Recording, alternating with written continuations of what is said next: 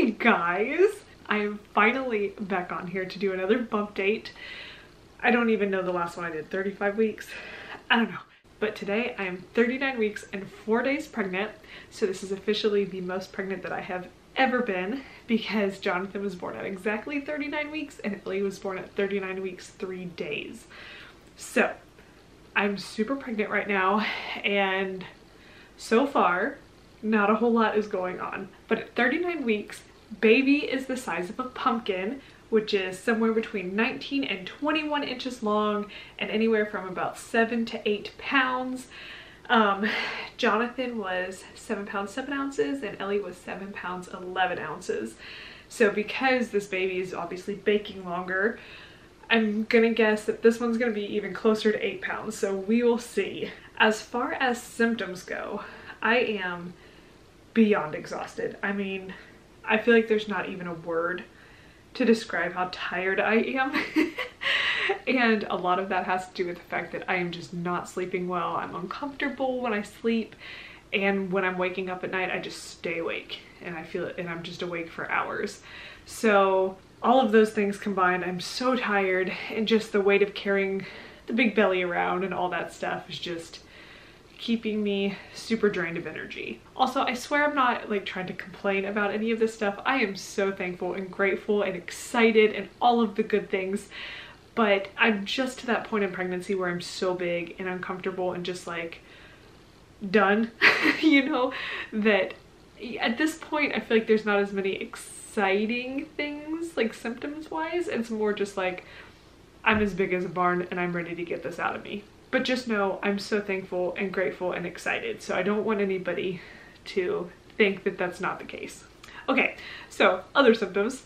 I have been super emotional and like moody and I think a lot of it is this is just such a different experience for me not having a scheduled C-section around 39 weeks and trying for a VBAC of like the not knowing and kind of being on edge and just like when is this going to be over sort of thing um, so it's just a very different experience and it's more emotional for me this time around. So I don't know, I'm just moody. Another thing I've been feeling a lot of the past week, actually about two weeks, is round ligament pain.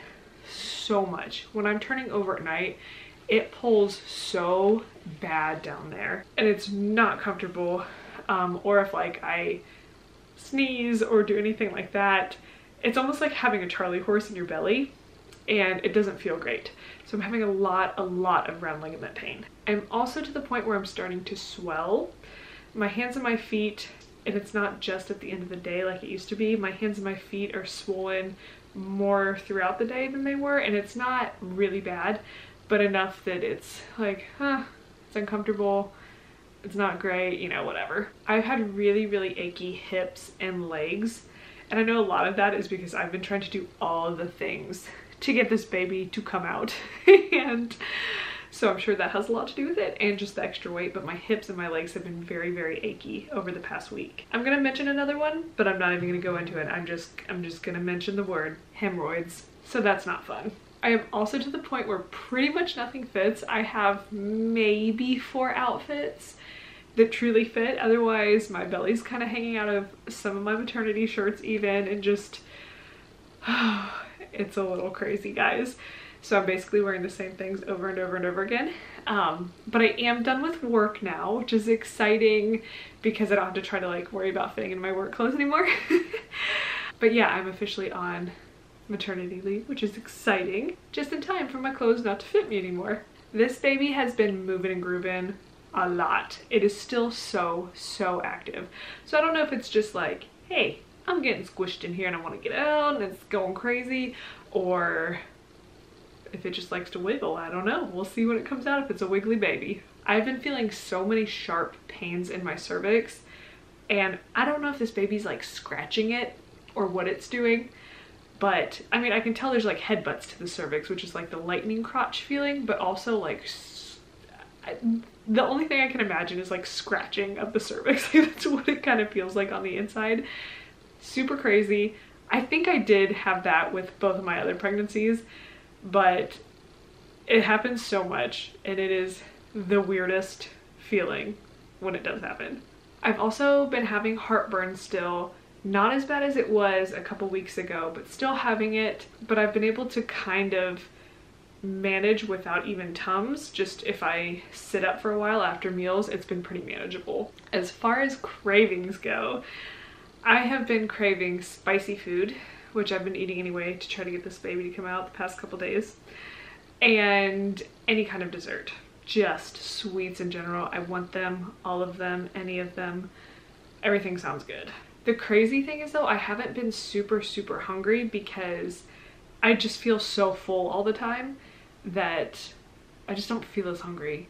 So I don't think I've really been eating as much because even when I do eat, I get full so fast that I'm not eating as much as I normally do, which I guess is a good thing because I eat a lot of food and probably need to relax a little bit on that. Okay, so that's pretty much it as far as like symptoms and things like that or all of those kind of things happening at 39 weeks. I'll also go into like my past couple doctor's appointments and things like that and kind of the plan and all that sort of stuff. So like I said, right now I am 39 weeks, four days pregnant and my C-section is scheduled for 40 weeks and three days, which would be next Friday, if I do not go into labor on my own before that. I am trying for a VBAC if I go into labor on my own before 40 weeks, three days. So I really am trying to get myself to go into labor naturally because I don't want to be induced um, with having a VBAC after two C-sections.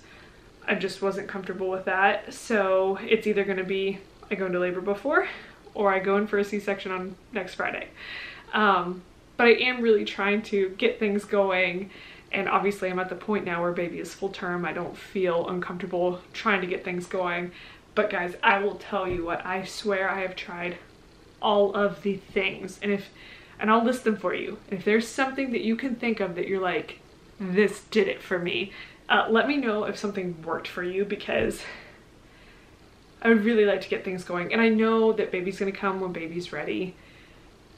But if I can get things going in the right direction, I would like to do that. Here's my list of what I tried. Are you ready? Red raspberry leaf tea. I drink three cups a day. Dates. I eat six dates a day and I have been for weeks. I ate a whole pineapple yesterday and then wanted to throw up. I've been jumping on my exercise ball. I have walked and walked and walked and walked. Yesterday I walked like five miles. The day before I walked like seven. And I'm not talking all at one time, but throughout the day.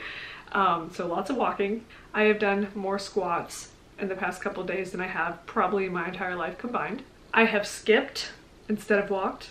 I have been dancing. I looked up labor inducing dances on YouTube and I've been dancing. That did not work. And of course sex. And that also has not worked. So if there's anything else you can think of that's like, that was just tried and true for you, please let me know because I'll give it a go. Also, I should say when I've been to the doctor, baby is head down, which is great. So they seem to be in a good position. Um, but I even, let's see, my last appointment was 39 weeks and two days. I was not dilated at all. He didn't say anything about effacement, um, but I do know that it really doesn't necessarily mean anything whether you're dilated or not, and some people don't dilate until they're actually in active labor. And if you are one of those people, let me know because that'll make me feel a little bit better because right now I just feel like there's no progress and like nothing's ever gonna happen. And it might not. I might just go in for my C-section next week and that might just be what it is. But yeah, so nothing is going on with my cervix, at least wasn't a couple days ago. So we'll see. Also, another thing that's kind of weird, I was having prodromal labor and I'm talking like I have had so many days the past couple weeks where contractions have been like four to five minutes apart for hours and hours and hours and just would just fade away. They just go away. And I'm talking like there was one day in particular, like a week and a half ago maybe, they were four and a half minutes apart for probably three hours straight. And the contractions were lasting over a minute. They were painful and then they just faded out. And I'm like, what is this? But I feel like baby is in a slightly different position than it was then. And I've heard that a lot of times when you're having prodromal labor, it's because baby isn't in the optimal position. And I've had so fewer contractions the past couple days that I'm thinking maybe it finally got into a really, really good spot. And so that's why I'm not constantly contracting anymore. But now I'm like, well, now I want the contractions to come back so it will come out. But yeah, as of right now, I'll have random contractions, but nothing consistent. So it's just so confusing. Like I said, this is just a whole different experience than it has been my last two times. So it's gonna be really interesting to see how this plays out. Also, if you did not see my last video, which was the nursery tour, um, James is home now, which is great, so he should be here no problem for when baby comes.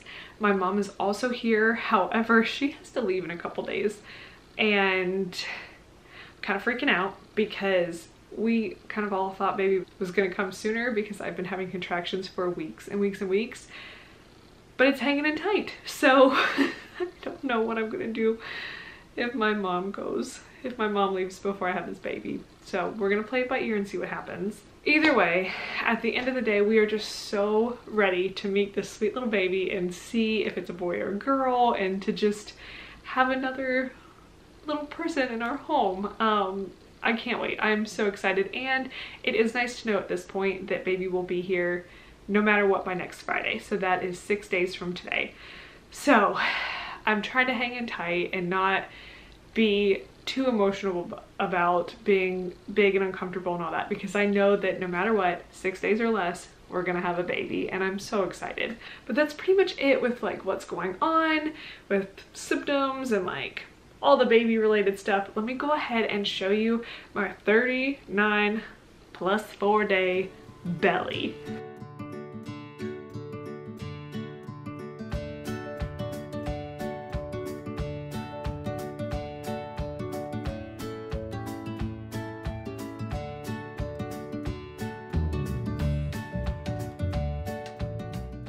Alright guys, well I hope you enjoyed this video. This should be my last bump date because I don't think I'm gonna do a 40 week one and um, so this should be the last one before you guys get to meet this baby. I'm gonna try to do a labor and delivery vlog depending on if I do a VBAC or a C-section or whatever. Um, so hopefully I'll have something for either one of those. So keep an eye out for that. Also, please follow me on Instagram. I will be able to update that a lot quicker than I will be able to update YouTube. So I will put my name down below so you can follow me on there and be on baby watch with everybody else. But I hope you guys are having a fantastic day and I will see you in my next video. Bye guys.